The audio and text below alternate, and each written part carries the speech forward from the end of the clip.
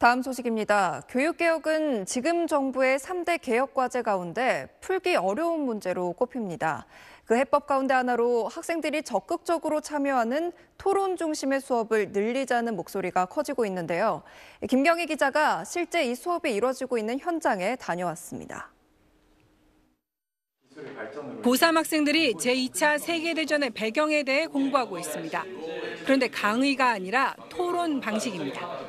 어, 연합국 간의 합의가 확고히 조율되어 있을 경우 힘의 유화 정책으로서 이제 평화 구축에 고3 교실에서 토론식 수업이 가능한 건 이 학생들이 토론 중심으로 수업하는 IB 프로그램을 선택해 수능 시험을 보지 않기 때문입니다. 스위스의 비영리 교육재단이 운영하는 IB 프로그램을 택하면 세계 공통의 토론식 교육 과정을 거치고 논술 서술형 평가를 통해 별도의 공인 점수를 받을 수도 있습니다. 애들끼리 하는 게 아니 이게 고등학교냐 뭐 대학식 수업을 하고 냐 힘들 때마다 이런 식으로 얘기를 하는데 그 일반 반 학생들은 할 수 없는 그 본인이 원하는 것을 직접 정하고 그걸 심화 있게 탐구할 수 있는 기회를 준다는 것이 가장 좋았습니다.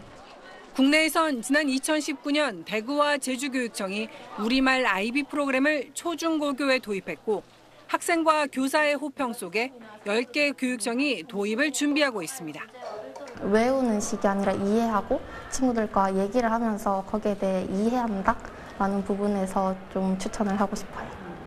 힘은 들지만 음, 그게 너무 보람이 있고 즐거운 거죠. 아이들이 성장하는 걸 볼 수 있기 때문에. 올해 처음 대학 진학에 도전하는 IB 과정 고3 학생은 193명으로 이들의 입시 결과가 IB의 전국적인 확대에 영향을 미칠 걸로 보입니다.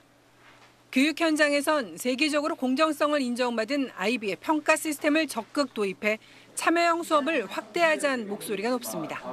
수능의 경우에도 오지 선다형 형태로 진행을 하잖아요. 그러면 지금까지 교육 현장에서 노력했던 것이 시험과 연계되지 않는 거죠. 평가 따로 수업 따로 기록 따로인 지금의 시스템에서는 한계가 있을 수밖에 없죠.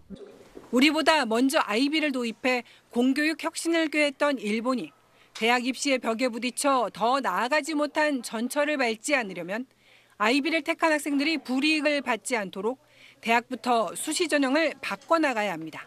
SBS 김경입니다. 네, 안녕하십니까. 김현우입니다. 더 많은 뉴스와 라이브 이벤트를 보고 싶으시면 화면 오른쪽을 눌러서 구독해 보시길 바라겠습니다. 또 저희 SBS 앱을 다운로드 하시면 속보 알림도 받아 보실 수 있습니다. 항상 저희 SBS 뉴스를 시청해 주셔서 대단히 고맙습니다.